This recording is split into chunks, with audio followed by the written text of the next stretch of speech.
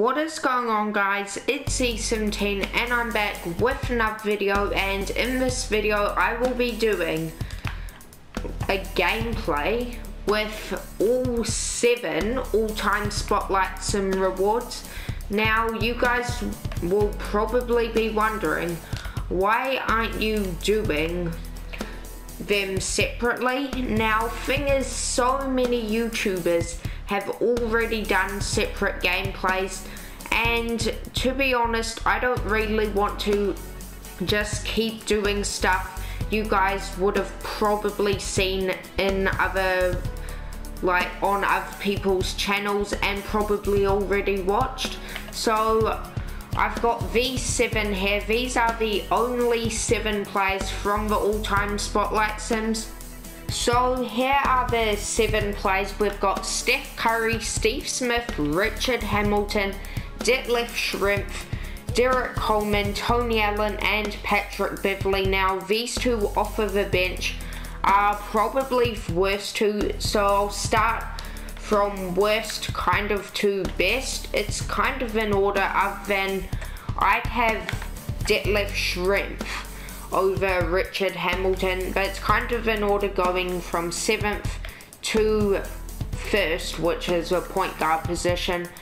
But this Patrick Beverley, 6 foot 1, 99 offense, 99 defense. So immediately he's undersized at point guard. Decent shooting for a Patrick Beverley card, although his release isn't great. Not much of a dunk though either. Great dribbling and passing, incredible defense as you would expect, and great speed and lateral quickness. Although being 6 foot 1, he'll struggle to defend taller point guards. Hall of Fame badges 46, 11 golds, catch and shoot, difficult shots. There's quite a few, so I won't read all of them. Volume shooter, floor general, diamond pickpocket, range extender, pick dodger, quick draw Hall of Fame, clamps Hall of Fame, interceptor, intimidator, off-ball pest, pogo stick, green machine, flexible release, contact finisher, fancy footwork, bailout, handles for days quick first step, unpluckable, and then on gold, stop and go, post move lockdown, rim protector, corner specialist, and a few others. So the next card here is Tony Allen. He's six foot four, two guard, so extremely undersized. Probably too short to play the two guard even, especially small forward though. Do not play him there. So 99 offense, 99 defense.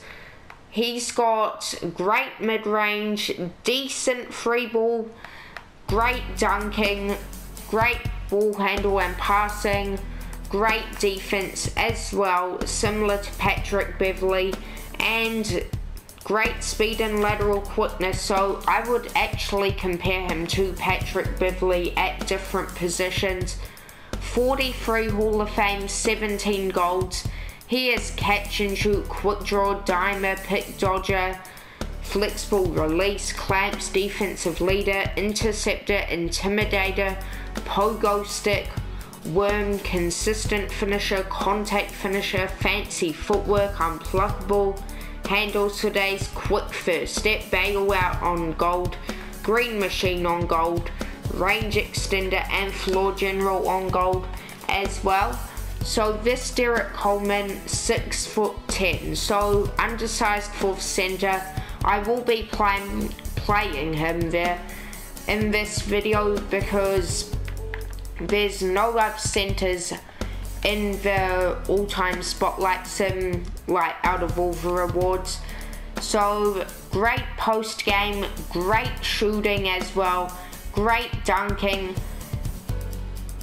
Okay ball handle i guess. Decent passing great defense in like the post and great block Great rebounding as well, decent speed, not great lateral quickness, although it should be fine. 44 Hall of Fames, 13 golds, catch and shoot, corner specialist, difficult shots, pick and popper, Break starter, lob city finisher, rim protector, pick dodger, clamps, range extender, quick draw, intimidator, rebound chaser, tireless defender, green machine, back down punisher, contact finisher, fancy footwork, flexible release, quick first step, and then on gold, unpluckable, pogo stick, interceptor, defensive leader, and dimer, a few other badges as well. So Detlef Schrempf can play small forward and power forward. He can like be usable at either to be honest. Like there's not one position where he's just too short to play. So he's got great post game, incredible shooting, incredible dunking, great ball handle and passing, great defense, good at everything. So good speed, good lateral quickness as well. Should be good as a 3 and D cone. 45 Hall of Fames, 19 golds, catch and shoot, corner specialist, pick and popper, acrobat, range extender, quick draw, diamond, green machine, clamps, intimidator, flexible release, pogo stick, deadeye, back down punisher, contact finisher, fancy footwork, unpluckable, downhill, quick first step. Then on gold he has pass fake, maestro, handles for days, bail out, rebound chaser, hot zone hunter, pump fake, maestro, lob city passer and finisher, as well as brick wall, so should be decent. So next up is this Richard Hamilton, so he's a shooting guard and small forward. He's six foot six, so I don't recommend playing him at small forward. Now he's got incredible shooting, 98 for both. Great driving dunk, great ball handle and passing, great defense, especially on perimeter, great speed and incredible lateral quickness. Now 45 Hall of Fames, 9 golds, catch and shoot, corner specialist, difficult shots, lob city passer, range extender, pickpocket, pick dodger, quick draw clamps, interceptor, pogo stick, contact finisher, fancy footwork, giant slayer, livery finisher, handles for days, quick first step, green machine, unpluckable, deadeye, flexible release, then on gold here, stop and go, Bailout, Intimidator, Dimer, and Floor General, as well as few other badges. But as I said, I'm not reading them all. So Steve Smith is six foot seven, can play two guard and small forward. Now he's going to be probably best one other than the GOAT Curry. Incredible shooting, great dunking, great ball handle and passing, great defense as well good rebounding, great speed and lateral quickness. Now 46 Hall of Fames, 11 golds, catch and shoot, corner specialist, floor general, range extender, quick draw, pick dodger, clamps, interceptor, intimidator, pogo stick, contact finisher, fancy footwork, fast break finisher, bail out, handle for days, quick first step, tight handles, deadeye, green machine, flexible release, in on gold, unpluckable, back down punisher, defensive leader, pickpocket, dimer, break starter, teardropper, a few other badges as well. And then this GOAT Steph Curry, he has almost every badge. He's missing two, I believe, and that is actually three. Steady Shoot is one of them. And then he's missing two others, not sure what the other two are though. And his stats are incredible. 99 almost everything, driving dunk, standing dunk is 97, great ball handle and passing, great defense. As you can see, perfect with like his speed stats. So sorry if that did take a while, but now I'm going to go over all their releases, then we're going to get into a game. So now I'm in freestyle and I'm starting off with Steph Curry's release. It is money either way, with meter or without meter, although online it seems to be harder to time. Maybe it's just from my experience, but it's really nice offline. And then his Lina is so fast, as you can see. And it's going to be hard to green, although it's definitely greenable sometime. I'll try green one. I don't think I'll be able to. But Steve Smith is next. His release is really fast as well, although I think it's going to be a really nice catch and shoot release. His dribble moves are the crazy thing though. His dribble moves are elite. To be honest, he's probably not going to be used for like doing quick stops, although he's definitely decent enough at that. And this is just a great release in general. His Lina, I don't know if that was his Lina or not. That definitely isn't. It's not the greatest. Next up, Richard Hamilton, and I really do like this release. It's money, especially without the meat on. That's just from my experience, but I can green from almost everywhere with this card. Just an easy release two time. And then his Lina, that's a bit strange to be honest. Next up, Detlef Schrempf. This release is money as well.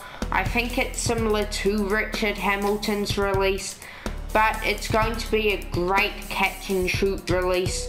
Not sure about quick stops.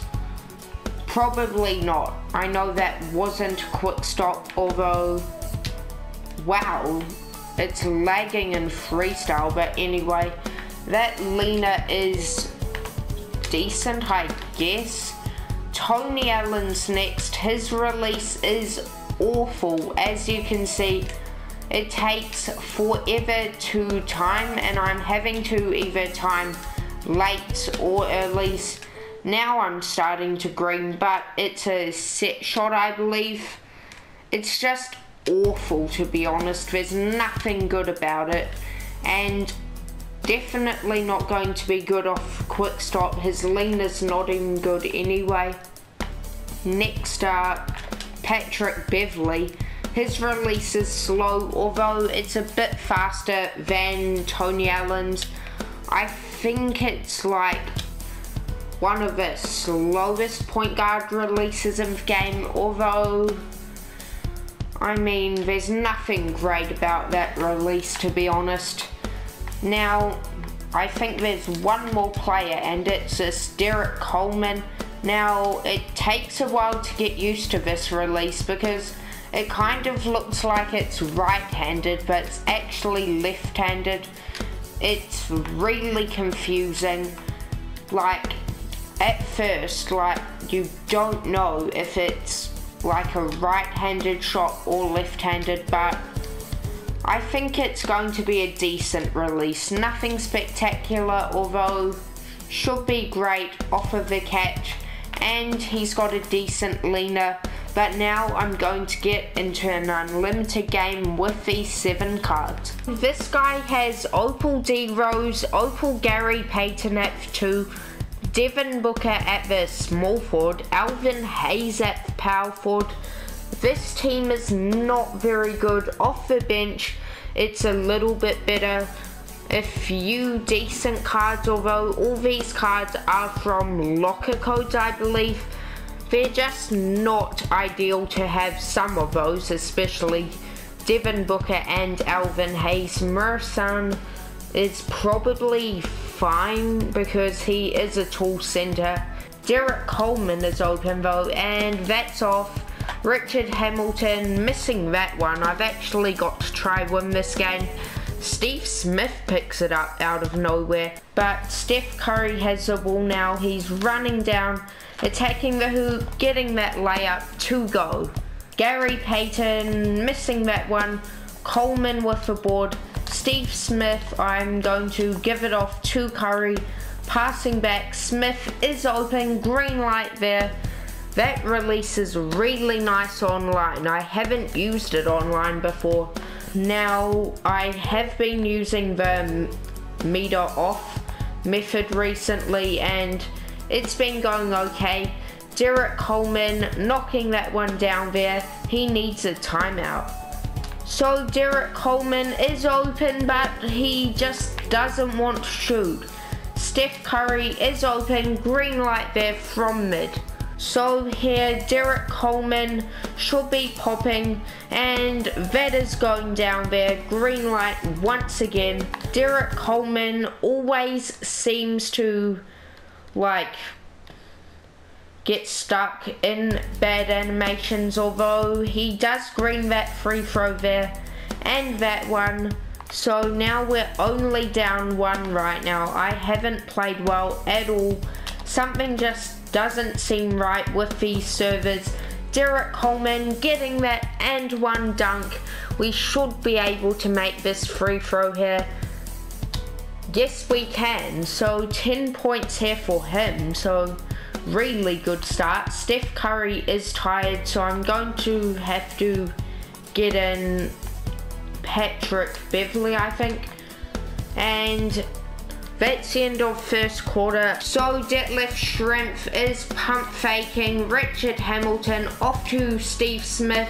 And that is going down. Finally, we hit a white because it is quite hard to green on inconsistent servers.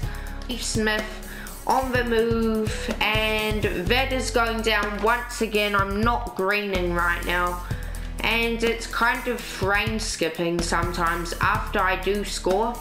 His release is really slow but Patrick Beverley does get that dunk there. I don't want to be forcing shots up with him if he's going to like become easily contested. Hamilton, open, green light there. This Richard Hamilton's just going to be great at making shots.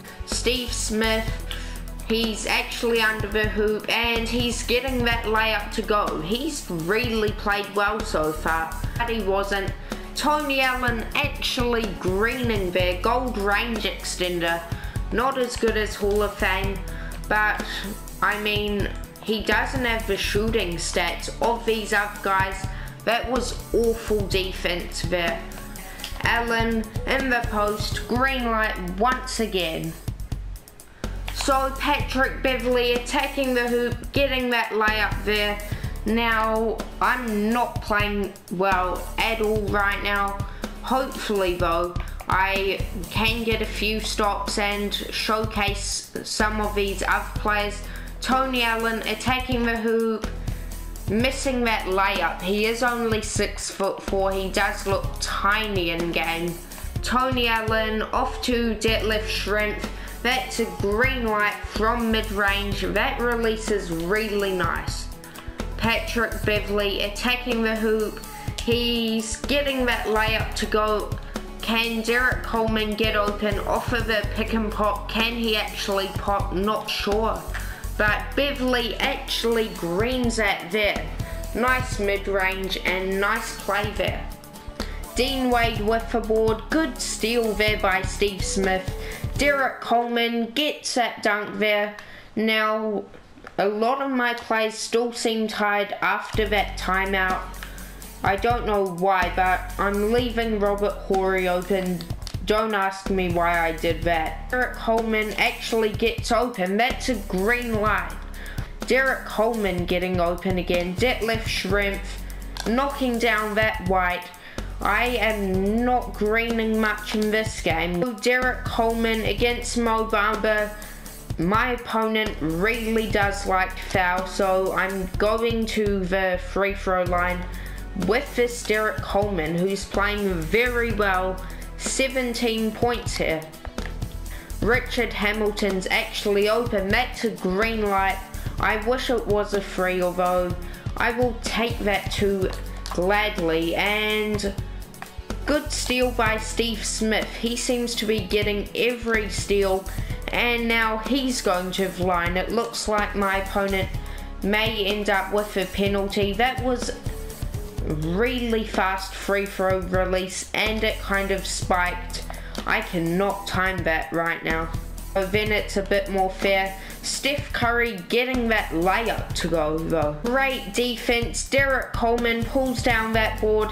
He's running really fast right now. Steph Curry, green light there, and I'm up 10 here with this quite nice squad to be honest. I don't think they're playing as bad as what some of the players on their own are like, like Patrick Beverley and Tony Allen. They're both like not great cards, but they haven't played awfully.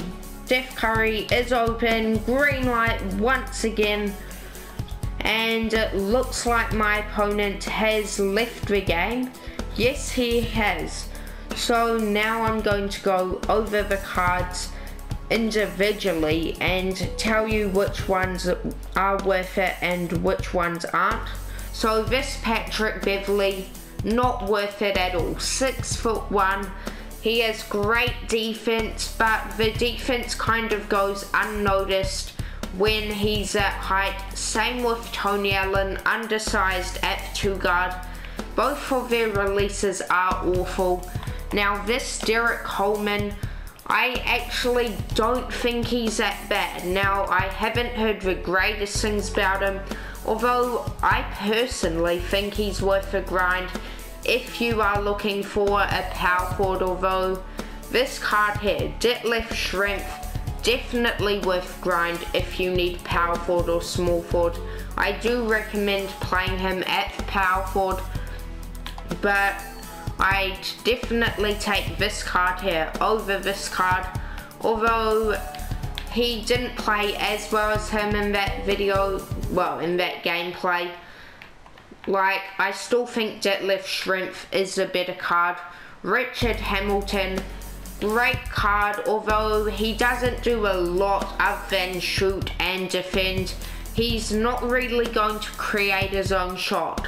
However, this Steve Smith had so many steals and he's just incredible offensively and defensively, definitely worth the grind no matter who you are and if you've started my team or you've got a GOAT squad like my one. Now, this Steph Curry, personally, I don't know if he's worth a grind. Depends if you have time if you do have time, definitely do the challenges for this Steph Curry, although he's not like this game-breaking point guard because he is only six foot three, although definitely a fun card to use. But that is a video. Thank you for watching. Please like and subscribe, as well as follow me on Twitch, Twitter, and Instagram. Bye.